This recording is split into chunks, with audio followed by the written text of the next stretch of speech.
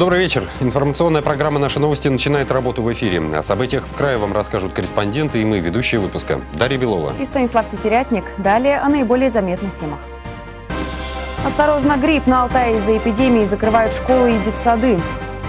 Шахматы на льду. Для Барнаула настало время разбрасывать камни.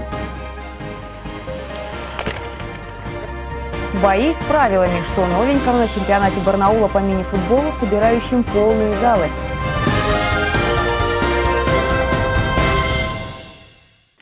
В больницах посторонним вход воспрещен, а в школах отменены все массовые мероприятия. Накануне в Алтайском крае введен карантин по гриппу и ОРВИ. А уже сегодня из-за массовой болезни детей в регионе полностью закрыты три школы и четыре детских сада.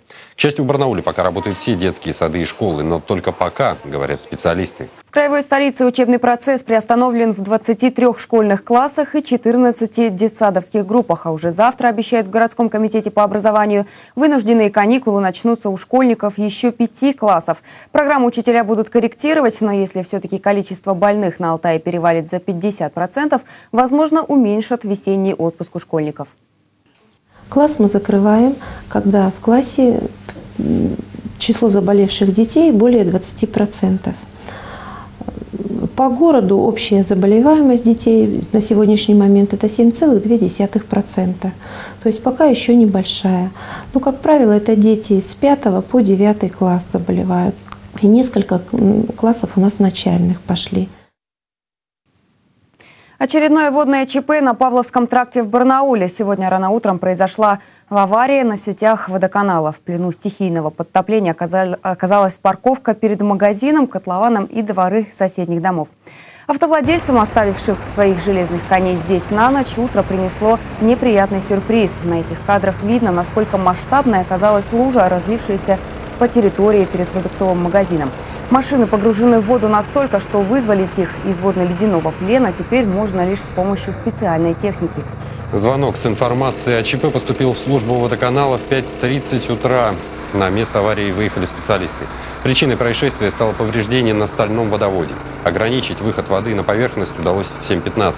В одном из многоэтажных домов на Павловском 74 пришлось включить водоснабжение. В течение всего дня здесь вели ремонтные работы и откачивали воду с автомобильной парковки.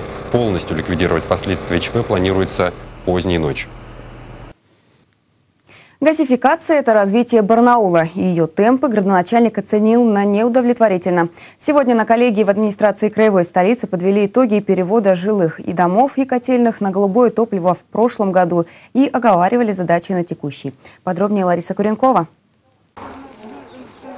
Барнаул газифицирует по долгосрочной целевой программе. В прошлом году на природный газ перевели более 3000 квартир, 64 котельные, построили 105 километров газовых сетей. Специалисты заверяют, по цифрам план даже перевыполнен. Работы вели в Борзовой заимке, Власихе, Ягодном научном городке, микрорайоне Докучаева. И в этом году тоже есть важные задачи. Газификация поселка Кирова – это лишь один из объектов. Микрорайон Мирный в индустриальном районе и в Ленинском районе кооператив. Вот. А также э, большое внимание будет уделяться в железнодорожном районе, в районе э, холодильника, в районе улицы Танковой, значит, Матросова и значит, в сторону Советской армии.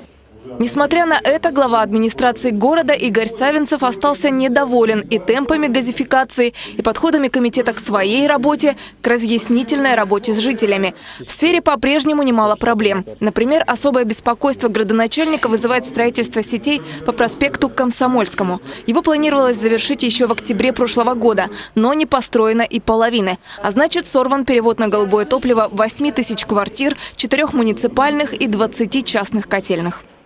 Других у нас участков в городе Барнауле, я считаю, таких стратегических нет. Потому что он кардинально сегодня может изменить подходы вообще в развитии всего Октябрьского района, той зоны и Центрального района. Вы знаете, вот ваша информация это так, убаюкивающая такая спокойная, спокойная, значит, э, прочтение лекций. Я сегодня не вижу ни озабоченности, ни боли комитета в тех вопросах, которые сегодня мы рассматриваем. Еще одно важное замечание по опыту прошлого года озвучил сити-менеджер. Речь о ситуации с котельными по Бельмесевой на улице Интернациональной. Срок их ввода существенно затянули, и это сказалось на старте отопительного сезона, когда близлежащие дома оставались без должного тепла. Вопросы к газификации Игорь назвал приоритетными, и они будут постоянно находиться на контроле. Должна идти нормальная, плановая, выстроенная работа, Потому что на самом деле там, где газ, там развитие. Там, где газ, там экология. Лариса Куренкова, Павел Лаурнин. Наши новости. Главное, чтобы костюмчик сидел. Женская часть журналистов, которые задействованы в уникальном театральном проекте под названием «Коварство и любовь» не по Шиллеру, впервые примерила свои костюмы и заодно поучаствовала в фотосессии. Перевоплотилась в актрису Юлия Филатова. На создание образа порой уходят не дни, месяцы. У нас же все иначе. Уникальному проекту уникальные сроки. Буквально за час деловые и собранные участницы перевоплотились до неузнаваемости. Сценический макияж, прическа и, конечно же, платья, тщательно подобранные под роль каждой. Но все же это не просто подборка костюмов и их первая примерка. Сейчас я другой человек. Я та самая Анфиса Антрыкина и совершенно никакой не редактор «Комсомольской правды». И а, сейчас я готова что-то сделать такое ужасное, но придется всего лишь пофотографироваться для афиши. Вот именно так вы себе представляли? Законченный, завершенный образ Антрыкина? Абсолютно не так. У меня должно быть вообще декольте сумасшедшее. Сейчас мне все, всю красоту поприкрыли на самом деле. А декольте нужно исключительно для роли, для того, чтобы красоваться. А, там есть один элемент, который ры пригождается декольте. Где пригождается декольте? Войти в образ нужно не только в примерочной, но и перед фотокамерой. Каждая новоиспеченная актриса сфотографирована для афиш, которые совсем скоро появятся в разных местах города. Женские персонажи из нескольких классических произведений объединятся под одним названием «Коварство и любовь» не по Шиллеру. Когда вообще была озвучена мысль такого проекта, а, я сразу закричал «Ура, да!», потому что он, он у нас витал в воздухе давно. Мы просто не знали, как вот вас, журналистов, как-то сгруппировать, да и привлечь к театру, как вам показать вот эту театральную работу, да, даже вот жизнь, работу театра вот изнутри. Первыми афиши скоро увидят наши телезрители, а за месяц до постановки и все жители краевой столицы. Напомним, что премьера спектакля «Ревю» назначена на 27 марта в Международный день театра. Попасть на него сможет любой желающий, а пока ежедневные репетиции продолжаются. Юлия Филатова, Павел Лауранин. Наши новости.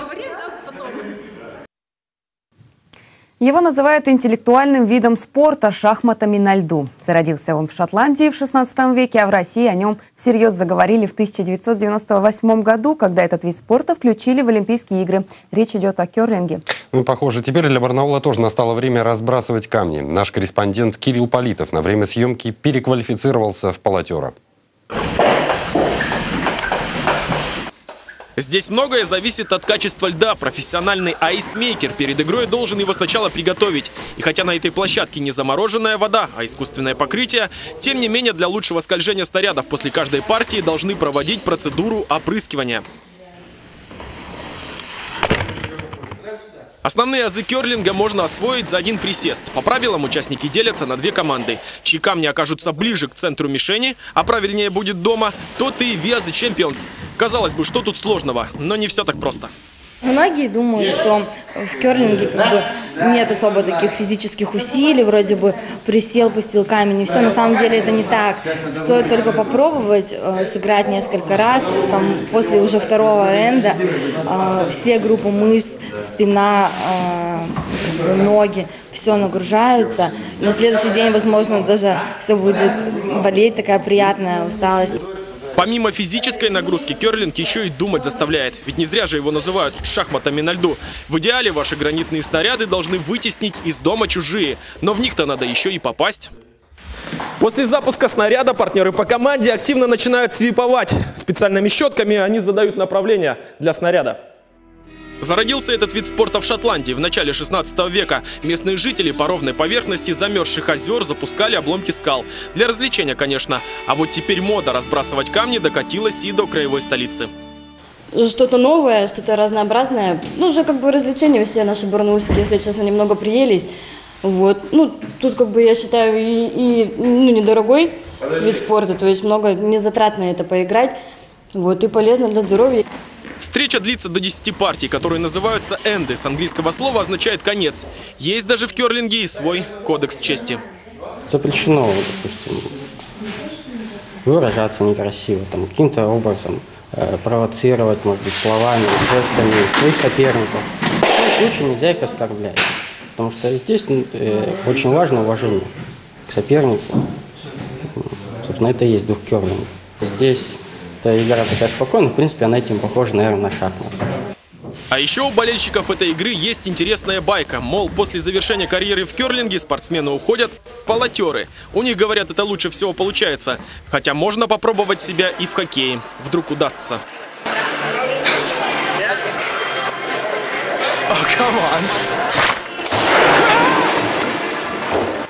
Кирилл Политов, Андрей Печоркин. Наши новости. Кадеты края встали на лыжи. Традиционный марафон среди воспитанников кадетских школ и патриотических клубов края прошел в минувшие выходные. Маршрут Бийск-Верховской. С места событий Ксения Чернова. На лыжный десант 2013 года приехали кадеты из Горняка, Белокурихи, Барнаула, Бийска, Алейска, зато Сибирский. Кадетская школа Наукограда распахнула двери для гостей со всего края восьмой раз. Дети, конечно, с нетерпением ждут этой встречи, потому что это знакомство, это дружба, это, естественно, проверка себя на выносливость, на взаимовыручку. Команды разбились на две группы. Пока одни состязались в биатлоне, другие участвовали в лыжном переходе. Ребята преодолели 20-километровую дистанцию. У Катунского моста устроили привал с полевой кухней, горячий чай, каша. Десантники также встретились с сельскими лыжниками и преподавателями. Ну, расскажи, как шли, впервые ли ты такой путь проходишь? Ну, я уже иду не первый раз, я уже выпускница. И было легко, весело и хорошо. Устала? Нет. Все довольны. Значит, это мероприятие на пользу всем. И нам, мы от них молодеем, и им. Для здоровья хорошо. Вот, правильно? Вот. Каша, говорят, удалась. В завершении лыжного десанта все участники проекта встретились в Верх-Обском, возложили венки к стеле воинов-победителей Великой Отечественной войне. Ксения Чернова, Иван Зяблицкий. Наши новости. Такой была эта среда. Впереди вас ждет обзор спортивных событий и прогноз погоды. Также для зрителей краевой столицы у нас приготовлены традиционные рубрики. Нам пишут с Натальей Николенковой и Галиной Юмашева. В еженедельной рубрике «Журнал происшествий» расскажет о, сер... о серьезных и курьезных ЧП. В студии для вас работали Станислав Тетерятник и Дарья Белова. Хорошего вечера. До встречи.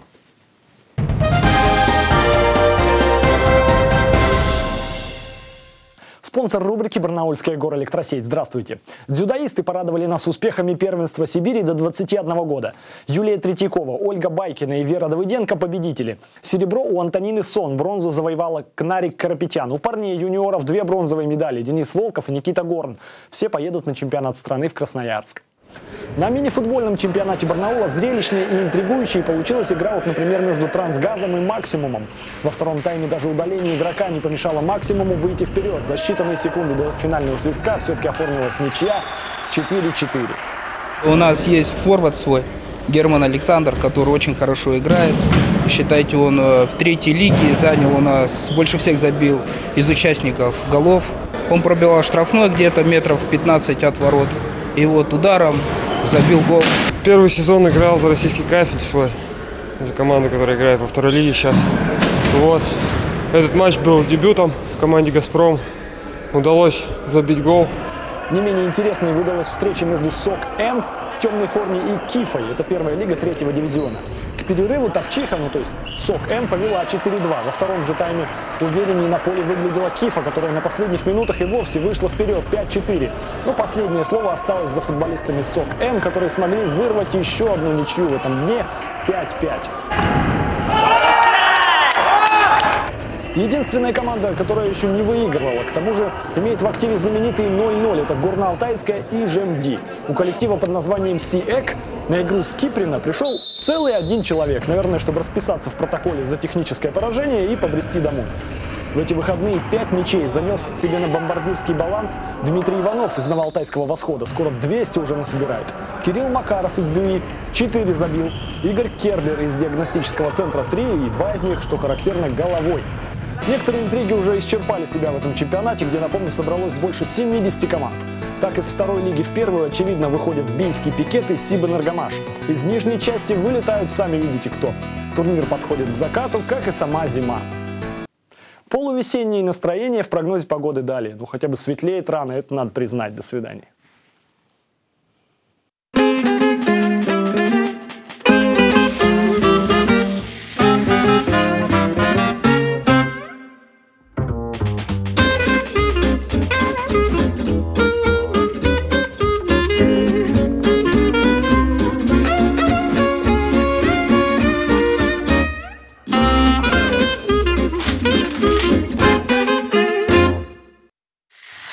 День? Какой был день тогда? Ах, да, среда. Именно сегодня мне впервые довелось попасть в здание издательского холдинга «Прожектор». А хорошо там, господа, и кофе вкусным угощают, но главное, с самого раннего утра нам пишут. Здравствуйте, с вами Наталья Николенкова, обычный читатель газет. Какой романтик в эти теплые февральские вечера не гуляет по Ленинскому под снегопадом, но амбивалентность этого погодного явления налицо. Дорожники края не успевают расчищать трассы от снега и наледи, пишет сегодняшняя «Комсомольская правда», несмотря на то, что работают круглые сутки. Особенно много снега выпало в Змеиногорском, Третьяковском, Чирышском и Усть-Пристанском районах. Зачастую между населенными пунктами из-за снега сообщения вообще отсутствуют. Приходится вести больного в райцентр в условиях нулевой видимости и вытаскивать с обочины пассажирские автобусы. Тяжелая техника нам в помощь, в том числе и военная. Хотелось бы еще по маленькому танку для рядовых пешеходов. Барнаульцы не оценили усилия мэрии в снегоборьбе, задаются вопросом аргументы и факты. Мне не важно, сколько единиц техники в городе задействовано, сколько тонн снега вывозится, говорит жительница Солнечной Поляны Ирина Мартынова. Мне важно, чтобы я и мои родные могли пройти по улице, не рискуя сломать ноги и каблуки, и безопасно сесть в автобус. Излагая мнение возмущенных горожан, аргументы отмечают и успехи дорожных служб. Например, победу над непобедимой с начала зимы толщей льда между трамвайными путями на площади Октября. Пишут свежие аргументы и факты и о ежегодной напасти эпидемии гриппа и ОРВИ. Как вести себя в условиях карантина, об этом никогда не лишне напомнить. А если вам подойдет способ закаливания практически не болеющих воспитанников Барнаульского детского сада номер 166 «Родничок», вот они босиком на снегу обливаются ледяной водой, то ведро вам в руки. И еще о здоровом образе жизни, на сей раз от московского комсомольца. Большая статья посвящена Великой битве с курением, один из главнокомандующих которой наш земляк, зампредседателя Комитета Госдумы по охране здоровья Николай Герасименко. Знаменитый антитабачный законопроект принят во втором чтении. До времени X остается совсем немного – у курильщика нет права травить табачным дымом других людей, говорит господин Герасименко. Спорить бессмысленно, прислушаться стоит. Давайте хотя бы Индии и Китаю уступим, наконец, сомнительное первенство по общему числу курильщиков. Не кашляйте. Увидимся в пятницу. Счастливенько. Целую.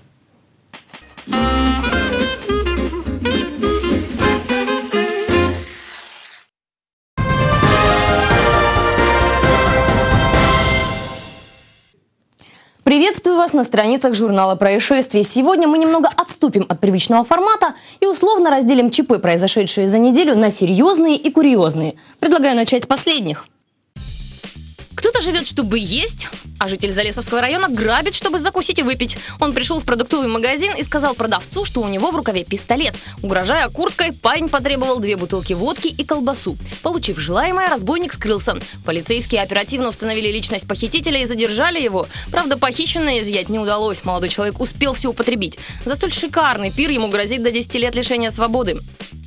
Пример подопечных оказался заразительным для алейского скотника. Вероятно, насмотревшись, как коровы жуют траву, он сам начал делать то же самое. Правда, употреблял мужчина не сено, а марихуану. Кстати, скотник не только ел ее, но и пил и, конечно, курил. Во всяком случае, именно об этом он рассказал наркополицейским во время своего задержания. Правоохранители изъяли у гурмана более килограмма марихуаны, которой скотник почивал не только себя, но и своих знакомых. На этой неделе отличился Бурлинский район. Сначала здесь померились силами грузовой поезд и снегоход. Охотник из Новосибирской области застрял на рельсах. Быстро освободить свой 300-килограммовый аппарат у него не получилось. И хотя движение на данном участке не очень оживленное, как назло в этот момент, на горизонте появился грузовой поезд.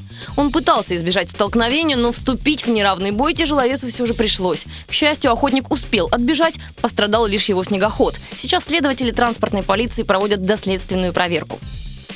Днем позже в самой Бурле состоялось похищение. У 50-летней хозяйки дома была увеселительная вечеринка. Когда она завершилась, женщина не смогла найти своего питомца, полуторагодовалого той-терьера. Позже выяснилось, его унес 22-летний гость, поместив собачку за пазуху. Питомца владелица вернул участковый. Будет ли похититель наказан, сейчас решают полицейские. Не остаются без работы пожарные, следователи и инспекторы ГИБДД. Далее расскажем, с чем и с кем им пришлось столкнуться за последние несколько дней. Сразу три человека погибли в Краснощековском районе. В одном из домов райцентра ночью произошел пожар. Когда огнеборцы прибыли на место, пламя уже успело охватить все строение. Во время тушения в комнате на полу обнаружили тела трех человек. По словам очевидцев, погибшие выпивали перед пожаром. О чем говорила и обстановка в доме. Предварительной причиной трагедии назвали неисправность электрической плитки, которую никто не выключил, прежде чем уснуть. В Барнауле по подозрению в совершении насильственных действий сексуального характера в отношении 11-летней девочки Следственный комитет разыскивает мужчину, небритого, с язвами на лице лет 35-38, ростом примерно 170 сантиметров. По словам ребенка, преступник был одет во все темное и грязное. С информацией о подозреваемом просят обращаться по телефонам в краевой столице 29 80 94, 29 80 02 или 02. У торгового центра Европа в краевой столице вновь произошло ДТП. Здесь столкнулись сразу четыре машины. Точнее, их столкнул в одну кучу нетрезвый водитель Тойоты Короны. Три автомобиля на перекрестке ждали зеленого сигнала светофора, а четвертый мчался сзади. Остановился он лишь когда смял впереди стоящих. Правда, и после этого пытался уехать. Его задержали водители пострадавших авто. Все остались живы, но одна женщина получила травмы. От водителей перейдем к пешеходам. Давненько на них мы не обращали свой взор, а точнее объектив видеорегистратора. Пожалуй, стоит наверстать упущенное, тем более, что некоторые авторы постарались на славу и из жизненной ситуации сделали целый клип. Необычный пешеход путешествует по дорогам нашей необъятной родины. Безопасный переход через проезжую часть ему обеспечивают голуби, создавая своеобразное силовое поле, которое заставляет железных коней останавливаться. Стой, стой, стой, стой! Это властелин голубей, властелин голубей. Любим мы кабане мясо в карбонате, Обожаем кабанов в окороках. К сожалению, у этой семейки нет защитного поля, поэтому им приходится рисковать своими жизнями, перемещаясь с одной стороны дороги на другую. Следующий пешеход хоть и человек, но по своему состоянию напоминает домашних собратьев предыдущих героев. Опан Gangnam Style.